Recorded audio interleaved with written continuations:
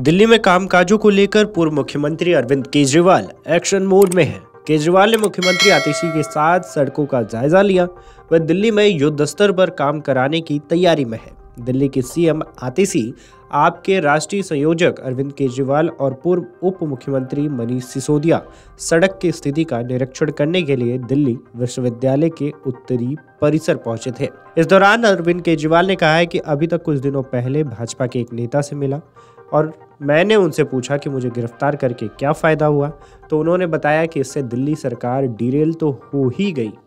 केंद्र सरकार द्वारा मुझे गिरफ़्तार करने का मकसद ही दिल्ली की जनता के कामों को रोकना था। लेकिन दिल्ली वालों को मैं कहना चाहता हूँ कि अब मैं बाहर आ गया हूँ और जनता के सभी रुके हुए काम तेज़ी से पूरे कराए जाएँगे। केजरीवाल ने कहा है कि उन्होंने मुझे जेल भेज कर दिल्ली के काम रोक दिए थे। सड़क भी खराब हो गई। उनका यही मकसद था। आज मैंने मुख्यमंत्री आतिशी के साथ दिल्ली यूनिवर्सिटी में एक सड़क का निरीक्षण किया। इस सड़क को भी जल्दी ठीक किया जाएगा। दिल्ली की बाकी सड़कों को भी जल्दी ठीक कराया जाएगा। अब मैं वापस आ गया हूँ। दिल्ली के लोग चिंता ना करें। दिल्ली के सभी रुके हुए काम पूरे कराए जाएँगे। बता दें कि इससे पहले सुप्रीम कोर्ट ने दिल्ली के मुख्यमंत्री अरविंद केजरीवाल को कथित अबकारी नीति घोटाला से जुड़े भ्रष्टाचार के मामले में बीते शुक्रवार को जमानत दे दी थी।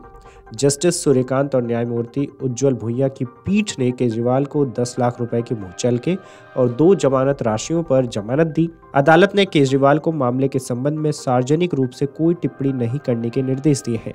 जस्टिस भुइया ने केजरीवाल को नियमित जमानत देने के संबंध में न्यायमूर्ति सूर्यकांत से सहमति जताई।